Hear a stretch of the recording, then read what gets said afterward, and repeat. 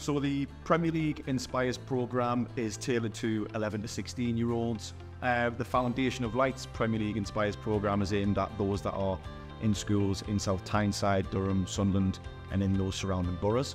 Uh, we aim to motivate those that find it hard to be motivated, uh, engage those that are hard to engage in mainstream education, and give them something to focus on um, using the power of football and sport and you know our brand and, and what we do best to, to, to help them find something enjoyable within within school. Um, this year, one of the main initiatives is using uh, the Premier League Inside Matters campaign as well as the Foundation of Lights Heart on Your Sleeve campaign to raise awareness around mental health. Uh, as part of that, the students are going to be competing against um, you know hundreds of other um, groups around the country and other foundations in a big event in order to, to create a social action project. What they'll be trying to do in their social action project is develop their life skills, their oracy, literacy, teamwork skills um, to benefit their local community.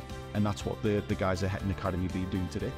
It's all the skills and tools that we'll use um, inside of the classroom in the wider world of work, what they'll, what they'll be doing with their friends every day is trying to give them something a little bit different, exciting, um, to focus on. And ultimately, these young people are not often the ones that are representing the school in, you know, football matches or or any other sports teams. They're the ones that potentially are underrepresented, and it's given them the chance to to represent their school in a big challenge with other football clubs around the country, um, and to shine the light on them and the positive um, experiences they're having, but also all the skills and all the all the fantastic ability that they do have that they've never just shown before.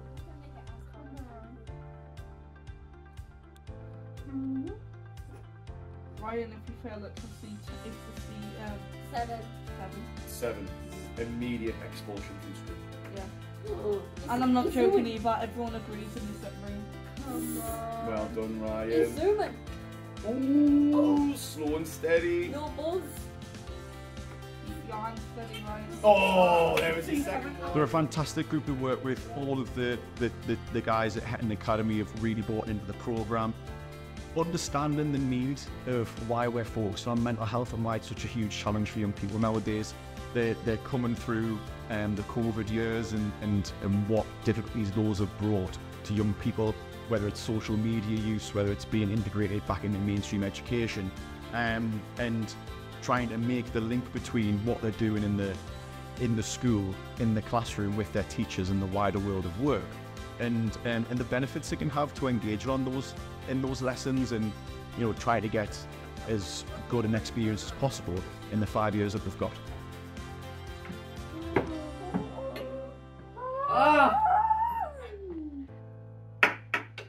Oh yeah. my God!